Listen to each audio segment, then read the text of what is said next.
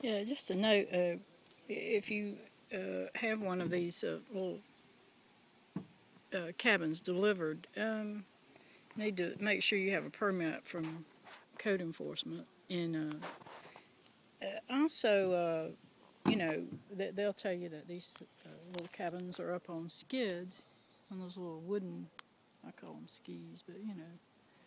But uh, and they say that those can be put right on the ground, but make them put them up on some cement blocks. Cement blocks are cheap, you know.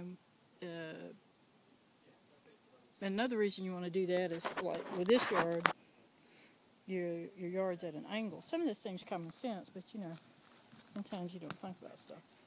Uh, but you can see here the yard is already filling in on this side because you're going up a hill, and um, it's just best to have it up on blocks and try to have something up in the yard, you know, to, to hold hold the yard from washing back. Bamboo is good.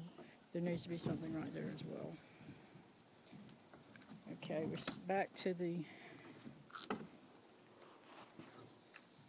cabin.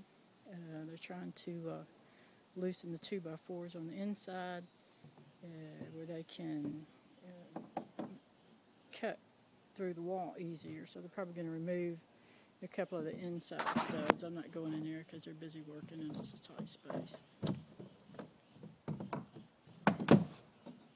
As you can see, they're coming through the back wall. And uh, this back is probably in sections. Um, but the double door is going to be fairly wide, over 60 inches, so it's going to take up a good bit of space. So uh, we got to make sure it's properly framed in and um, placed, you know, so the, the back of the cabin won't be totally destroyed.